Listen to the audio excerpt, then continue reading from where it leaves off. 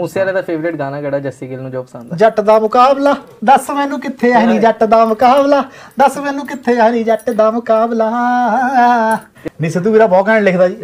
ਜੇ ਕਦੇ ਸਿੱਧੂ ਨੇ ਗਾਣਾ ਤਾਂ ਜ਼ਰੂਰ ਕਰਾਂਗੇ। ਪਰ ਦੋਨੀ ਮੇਰੇ ਦੋਨਾਂ ਨਾਲ ਮੈਂ ਸਿੱਧੂ ਨੂੰ ਹੁਣੇ ਥੋੜੇ ਦਿਨ ਪਹਿਲਾਂ ਵੀ ਮਿਲਿਆ। ਸਿੱਧੂ ਬਾਈ ਨਾਲ ਵੀ ਬਹੁਤ ਵਧੀਆ ਬਣਦੀ ਹੈ ਆਪਣੀ ਤੇ ਕਰਨ ਨਾਲ ਮੇਰੀ ਵੀ ਬਹੁਤ ਵਧੀਆ ਬਣਦੀ ਹੈ। ਕਰਨ ਦਾ ਪਹਿਲਾ ਗਾਣਾ ਮੈਂ ਰਿਕਾਰਡ ਕੀਤਾ ਸੀਗਾ ਰੇਂਜ ਤੇ ਉਦੋਂ ਛੋਟਾ 16 ਸਾਲਾਂ ਦਾ ਹੁੰਦਾ ਸੀਗਾ ਕਰ ਜਦੋਂ ਮੈਂ ਉਹਦਾ ਗਾਣਾ ਰਿਕਾਰਡ ਕੀਤਾ ਸੀਗਾ ਇਹ ਤੇ ਮੈਂ ਬੜੀ ਖੁਸ਼ੀ ਆ ਕਿ ਉਹ ਅੱਜ ਬਹੁਤ ਵਧੀਆ ਕਰ ਰਿਹਾ ਕੰਮ ਉਹਦੇ ਗਾਣੇ।